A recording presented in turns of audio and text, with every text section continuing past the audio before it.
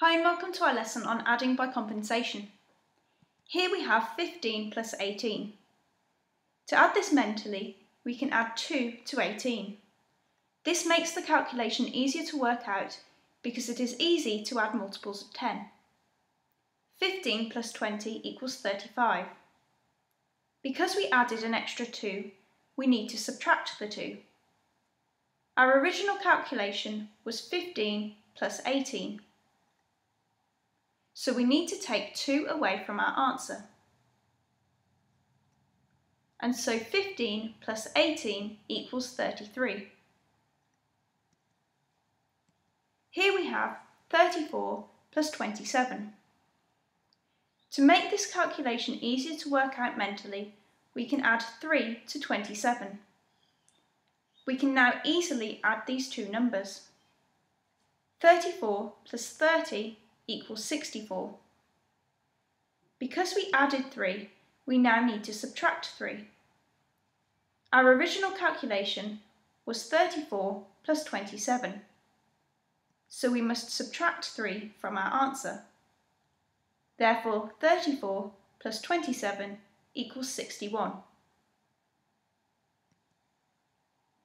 Here are some questions for you to try.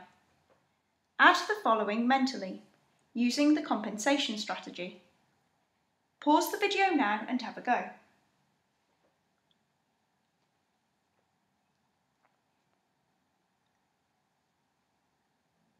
Question 1.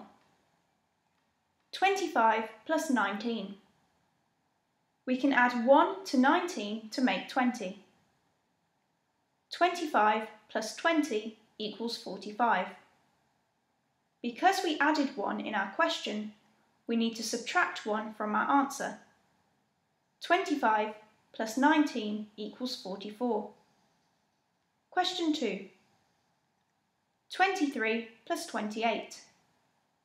We can add 2 to 28 to make 30. 23 plus 30 equals 53. Because we added 2 at the beginning, we need to subtract 2 from our answer. So 23 plus 28 equals 51. Question 3. 36 plus 27. We can add 3 to 27 to make 30. 36 plus 30 equals 66. Because we added 3 to the question, we need to subtract 3 from our answer. So 36 plus 27 equals 63. Question 4. 44 plus 39.